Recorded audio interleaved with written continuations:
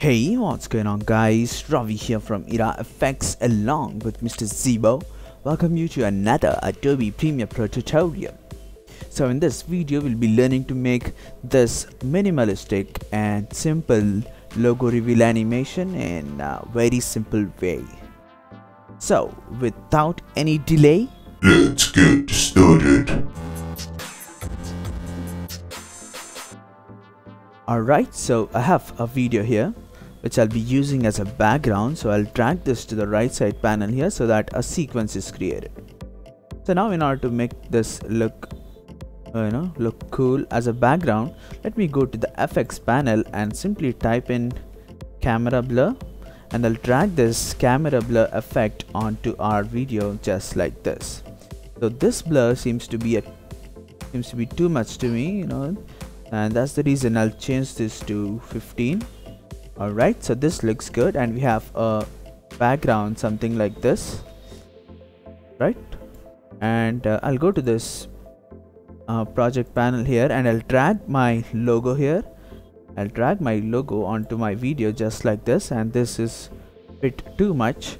So I'll select this logo and scale it up just so that it fits right like this. So now we'll be animating this logo so in order to do that. Go to the fx panel and type in basic 3d and you have this basic 3d effect and drag this onto your logo just like this. Let us um, make sure that the logo appears after one second.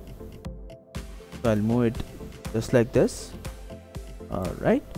So at this point um, at the first frame of the video I'll select my uh, um, basic 3d effect and I'll change this swivel value to um, negative 90 alright I'll type negative 90 and I'll click on this timer button here so that a keyframe is created at this first frame and I'll move half second forward just like this and change this value to 0 so now if I start playing this this is how it's going to look like so this is how your logo is going to turn like this. Let me just render this up.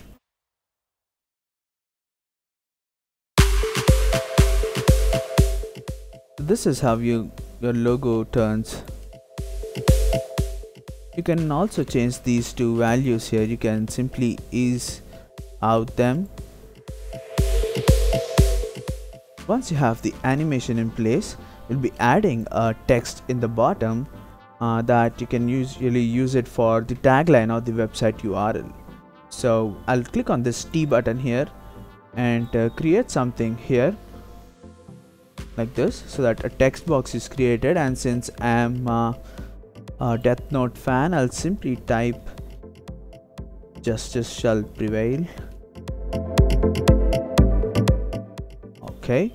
I'll just center this up like this okay.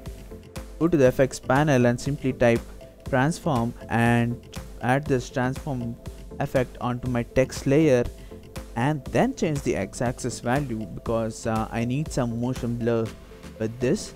So I'll change the position value to negative 800 just so that it moves outside of our video. And I'll click timer button here so that a keyframe is created at this point and I'll go around uh, one second forward and bring the position value back to 960 alright and I'll uncheck this use composition shutter angle and change the shutter angle value to 360 just so that let me just render this out before showing you. So this is how the text comes in.